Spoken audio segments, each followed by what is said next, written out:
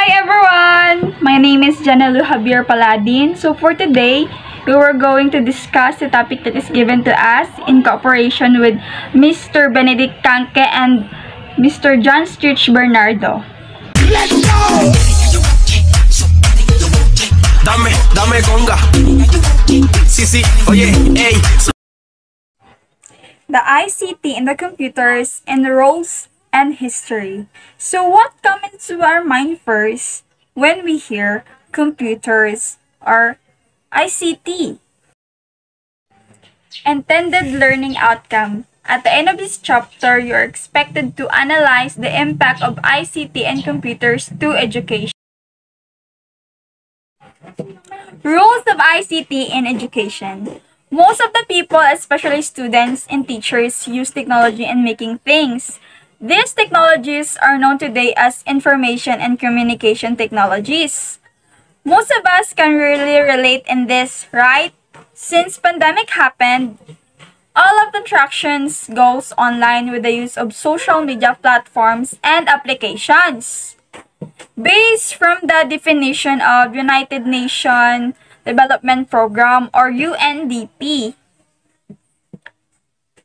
ICTs are basically information handling tools, a varied set of goods, application, and services that are used to produce, store, process, distribute, and exchange information. Meaning, it's further enhance the quality of education in using ICT to improve student learning and teaching methods. It can serve multiple teaching functions. ICT can be used as drill and practice to help solve problems, to access information in different fields. It can be used in different teaching and learning modes. These learning modes include classroom interactive learning, independent learning, network learning, organizational learning, and managed learning. Information can be delivered in an instant because of the internet. You can deliver information in a wide coverage at low cost. ICT created an enormous growth over the past years in the field of education. It has changed many aspects in the teaching and learning process as it affects the educational system, educational learning environment, teaching methods and strategies, and the way the student learn. It helps in improving one's teaching ability as well as being a means to higher level of innovation. It aids the classroom effectiveness. It also promotes professional educational development as well as helping teacher trainees with their active learning. Let us find out how the development of ICT had made a great impact in education. In 1650, the Horn Book. This is a wooden paddle with printed lessons that were used during the colonial era. You can find on the paper alphabets and a religious verse which children would copy to help them learn how to write. A wooden frame mounted on a sheet of white paper was protected by clear, horn-plated sheets of plastic. The frame had a handle and resembled a table tennis paddle. The very first papers were made of vellum. These days, they are made of paper. 1820 Difference Engine Charles Babbage was the one who designed this computing machine, which was used in calculating and printing of simple math tables. The difference engine's name is derived from the Latin method of calculating differences between two numbers. A difference engine is a type of mechanical calculator which is built to perform polynomial computations. It is uses the small sets of coefficients to tabulate polynomial functions. Analytical engine Charles Babbage designed the second computing machine which was used in calculating complicated problems by following a set of instructions. Analytical engine is a computer where every aspect of the computation has been controlled by mechanical and digital devices. Punch cards are being used to program any calculation set. Integrated memory, flow control are all included. This device is the first general mechanical computer that is able to perform any of the other definite calculations. 1870, Magic Lantern. This is a primitive version of a slide projector that protected images printed on glass plates. Magic lanterns provided affordable education to the working class. People all over the world have long since been entertained by Magic Lanterns shows, which utilized lantern slides of popular stories, temperance tales, and ghosts to put on live performances. 1890, the school slate was invented in chalkboard. The chalkboard is one of the biggest inventions in terms of educational technology, which is still being used up to this age. School chalkboards and slates boards were created in 1890.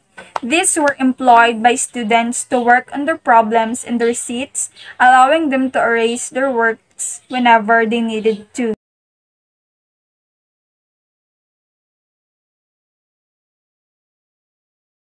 Hi guys, I'm your next reporter.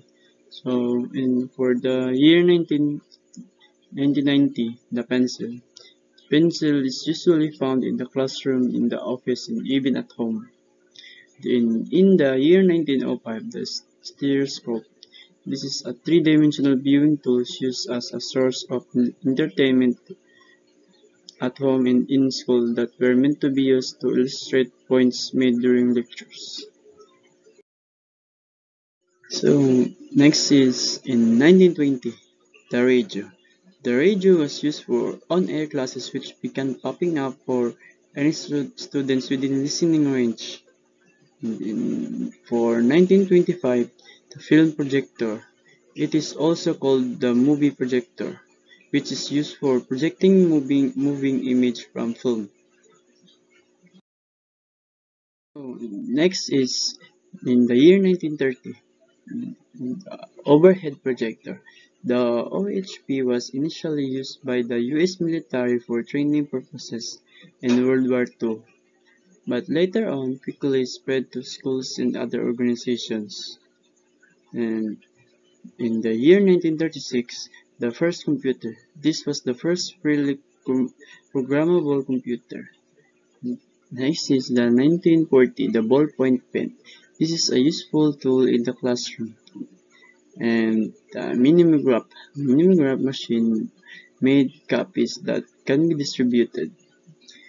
And for 1947, the transistor. The transistor was invented by Bell Telephone, Telephone Company, the which company one of the vital components of the computer.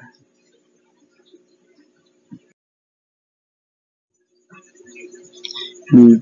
And for the year 1950, the headphones. Headphones are used in the schools for some listening skills and to do individual listening for audio files and like that. The next is the slide rule. The slide rule, which was developed by William Oughtred and others. Before the advent of the pocket calculator, it was the most commonly, commonly used calculation tool in the science and engineering.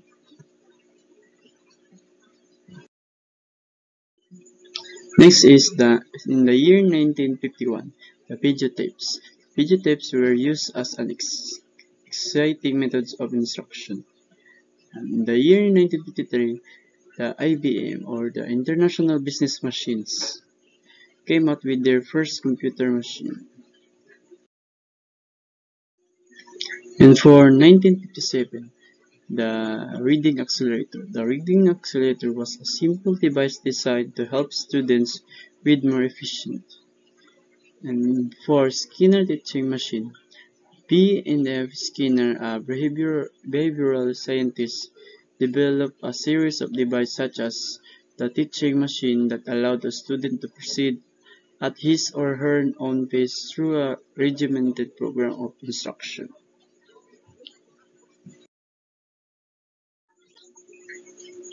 And for 1958, the educational television. Using this, there were more, more than 50 channels of TV which included educational programming that aired across the country. And for 1959, photocopier. So the xerographic his photocopying was introduced by Xerox. In the year 1963, the Computer Assisted Instruction, or the CAI, the Stanford University introduced the Computer Assisted Instruction in the mathematics and reading. They, they offering individualized learning and allowing students to take self-paced, active role in drill and practice. And for math, this this point printing device, which is still being used today, was invented by Douglas Engelbart.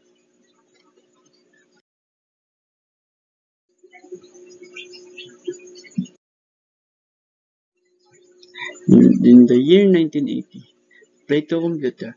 The Plato was one of the most used early computers. In 1981, the IBM introduced its first personal computer. And for 1985, the CD-ROM drive. The CD-ROM is a storage medium that could store text, video, and audio. For the year, eh, the same year, in 1985 to 87, the era of educational computer games. Examples of these are the Mavis Beacon that can teach how to type fast. And for Carmen San, Sandiego that involves learning in geography and number of that aim about enhancing the mathematical skills.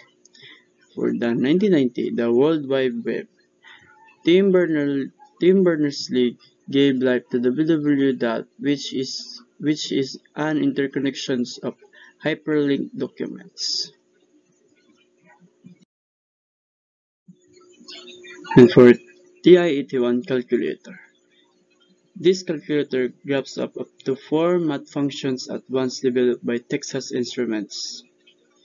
And in the year 1991, the laptop. The first laptop is the PowerBook.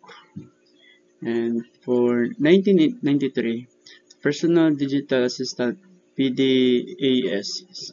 These were released by Apple Computer Inc. and they were used for computing, storing information, and even keeping schedules. And for the year 1996, the mini computers, the Nokia introduced a phone that had internet capabilities. This started a revolution of devices that were small portable computers. And for 1998, the first e-book reader was released. In 1999, the interactive whiteboard. The interactive whiteboard is an instructional tool that allows computer image to be displayed on the whiteboard which can later on be manipulated by teachers and students. And in the year 2010, the Apple iPad was released. In the year 2015, the interactive mobile apps have become the, the center of the effective classroom learning. So, for next report.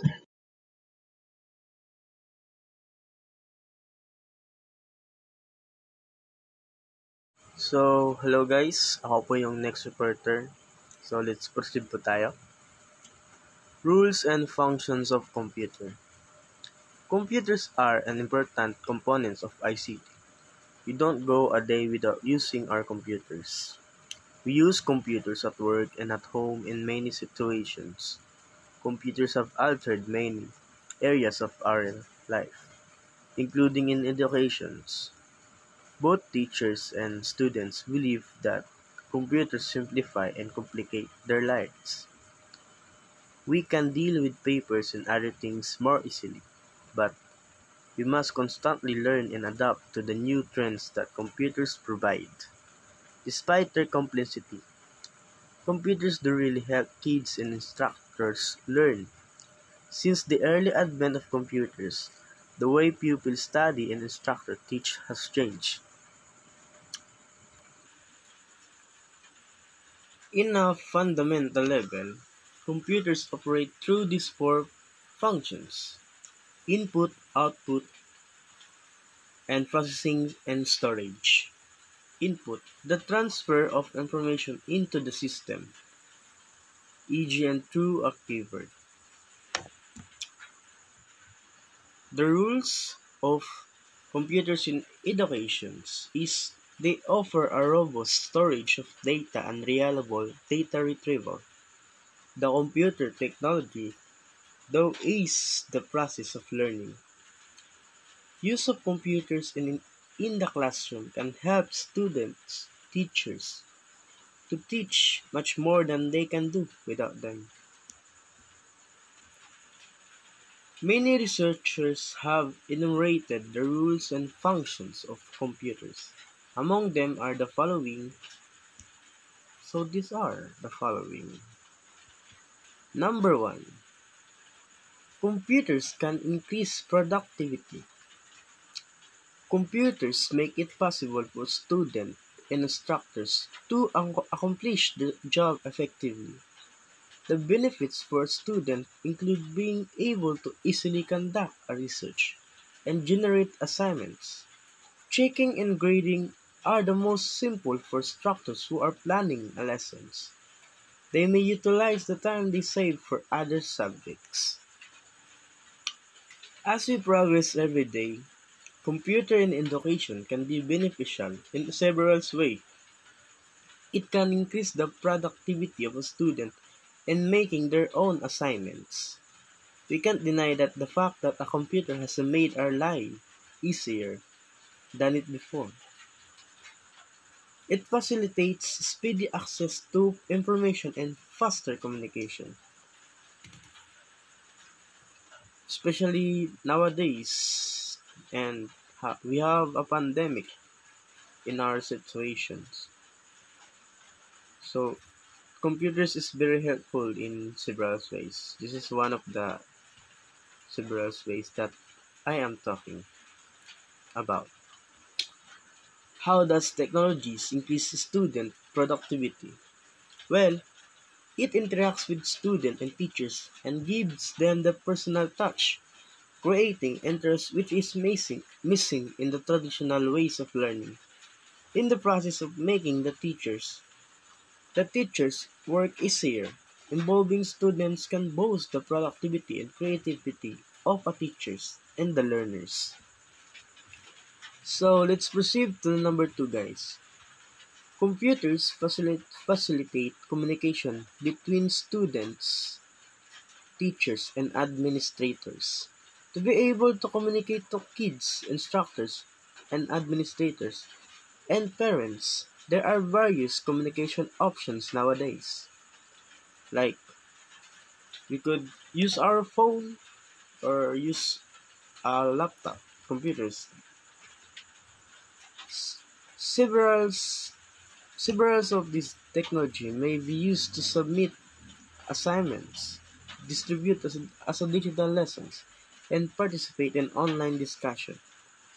So, So, ang ginapag-usapan diri guys kay muna ng pag uh, karang pag online class especially we are using a tools, a software like Gmeet, Zoom, and especially the Ramon LMS and etc. So, number three, computers are used to access large amount of informations. Today, Learning is not restricted to following a set of predefined textbook. When students seek information, it is usually located on the internet, where there's a lot of it. Ang gina ang ginamin ani guys kay like for example Google, you can search any information that could help in our in our example, we have assignment, we could research about it. We have activity, or we do have um, task that it needed a guide. So, um, So let's proceed for the number four. Computers are brilliant aids in teaching. Computers are used to support different types of learning using various academic applications, productivity tools, and software presentations. Software may be used to bring lectures to life, allowing teachers to interact and engage their students. Additionally, teachers may utilize various software support tools to provide content and data generation services. Well, to tell you guys, the computers plays an important role in teaching in the learning process. The computer can be used in teaching learning of a play form, drawing the children. Computers used in school. It has and will have a great role in the presentation of the lessons and for the communication and information. How how does computers help educators or teachers? Computers have revolutionized the teaching professions in multiple ways. Teachers use computers to rec- record grades, calculate average, and manage attendance, and also access a data on a student performance in online programs and assessment. Computers have also made it easier for teachers to vary their instructional delivery. Number Number 5. Computers postulate an electronic format for storage of information. On the other hand, the computer does keep everything we need in mind. Storage device may be used to store files, which can then be accessed, saved, and reused. What does it, what does it mean when information is stored in electronic format? Electronic format means text based on a base of or image-based content in a form that is produced on a pub on published by and readable on computers or other dig- digital devices and is an electronic version of a printed book whether or not any printed equivalent exists so what is a electronic storage system?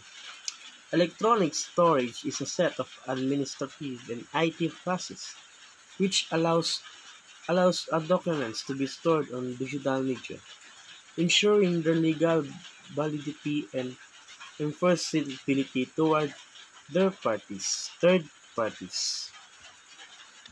Especially when we delete a files or documents, computers have a recycle or a recycle bin that we can retrieve from it.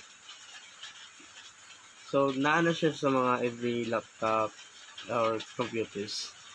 And nowadays, napo na siya aron sa mga cellphones. Number six, computers can teach subjects and enhance learning of the students.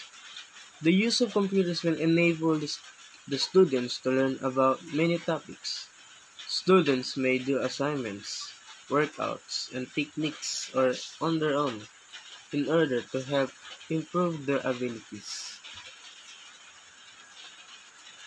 These computers allows allows to a student to learn by doing rather than trying to observe lines of informations from a textbook.